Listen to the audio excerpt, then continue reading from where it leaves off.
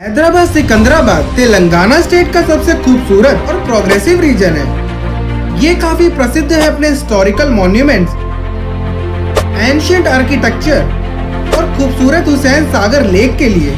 और ये बड़ा आईटी हब भी है। तेलंगाना स्टेट काफ़ी महत्वपूर्ण कड़ी है।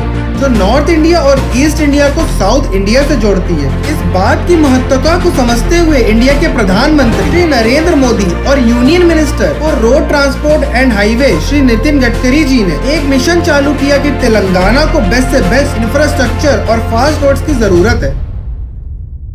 कहा था ना इंडिया की roads United States of America की बराबरी करेंगी? जी हाँ दोस्तों, अपने ट्रांसपोर्ट मिनिस्टर नितिन गडकरी जी हमेशा से ये दावा करते हैं कि वो इंडिया की रोड्स को 2024 तक अमेरिका की टक्कर का बना देंगे।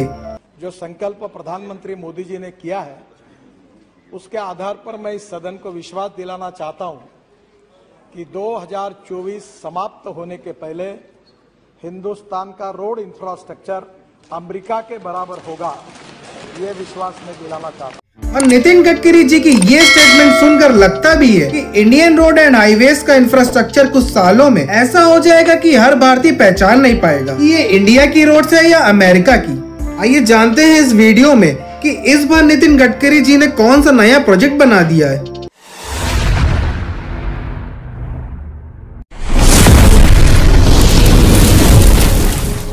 कि नितिन गडकरी जी का स्टील रोड प्रोजेक्ट आने वाले एक साल के लिए परीक्षण में है, जिस पर हमने डेडिकेटेड वीडियो बना रखा है। जिस वीडियो को आप यहाँ आई बटन से या डिस्क्रिप्शन में पड़े लिंक से देख सकते हैं। इस स्टील रोड प्रोजेक्ट के तहत नितिन गडकरी जी ने देश में पहली स्टील की सड़क बनवाई। जी हाँ दोस्तों, स्टील की सड़क। रुक जाओ। इस वीडियो को देखने के बाद उस वीडियो को देखना। Union minister for road transport and highway Nitin Gadkari ji ने अप्रैल 2022 में दो बड़े रोड इंफ्रास्ट्रक्चर प्रोजेक्ट तेलंगाना में बना के तैयार कर दिया है। और कुल 8000 करोड़ रुपए से बने 460 किलोमीटर की लंबाई वाले 17 नेशनल हाईवे की आधारशिला, यानी फाउंडेशन रखी सीआरआईएफ के अंतर्गत। जिनको नहीं पता सी आर आई एफ़ क्या है, उनको बता दे। ये एक तरह की फंड कंपनी है जो इंडिया के अंदर की रोड हाईवेज और अदर इंफ्रास्ट्रक्चर के मेंटेनेंस और डेवलपमेंट में हेल्प करती है। सी आर आई एफ़ का फुल फॉर्म होता है central road and infrastructure fund March 2022 तक तेलंगाना में चार हज़ार नौ सौ छियानवे किलोमीटर का नेशनल हाईवे नेटवर्क है। जो 2014 में जब नितिन गडकरी जी आए थे, बतौर ट्रांसपोर्ट मिनिस्टर सिर्फ़ चार हज़ार नौ सौ छियानवे किलोमीटर का आधा था। 2014 तक ये नेटवर्क तेलंगाना में सिर्फ़ 2511 किलोमीटर का था। 2014 से अभी 2022 तक ये नेटवर्क डबल हो गया है। नितिन गडकरी जी का ये कहना है कि उन्होंने इन आठ सालों में सिर्फ़ तेलंगाना स्टेट के नेशनल हाईवे को चौबीस